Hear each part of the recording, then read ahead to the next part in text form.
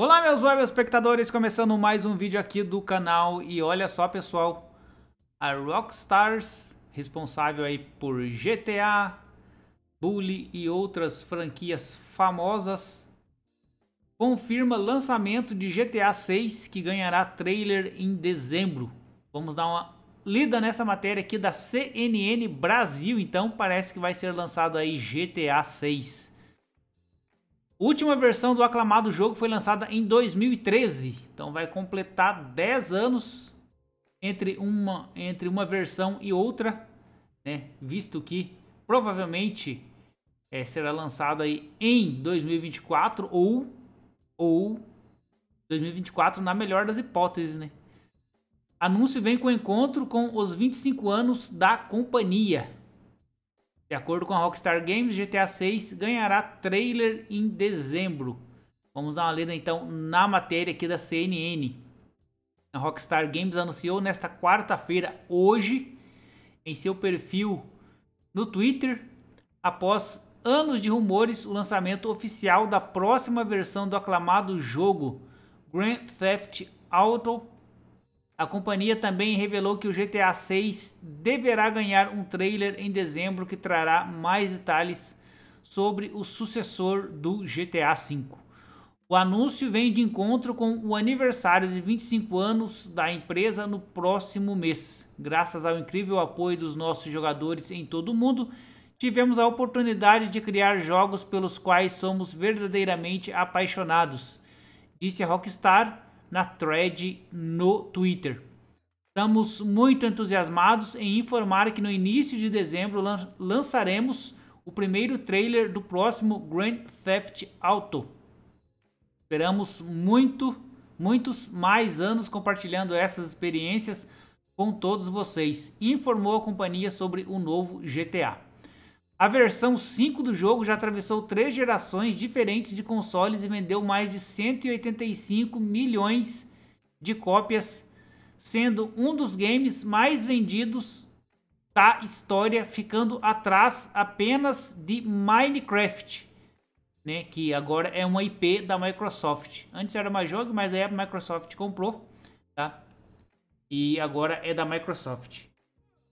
Se a gente for ver aqui, pessoal, no Wikipedia confirma então a informação da matéria da Minecraft aí com 300 milhões de cópias vendidas, tá? Então, como vocês podem ver aqui, ó, e Grand Theft Auto 5 190 milhões. Aí depois vem aqui Tetris, né, da EA que vendeu incríveis 100 milhões, um jogo bem simples, né, Tetris, tá? Multiplataforma. Depois vem o eSports, que se eu não me engano ele vinha com o i quando você comprava o i, talvez por causa disso tenha sido aí é, um dos mais vendidos também com 82, mais de 82, 82 milhões de cópia.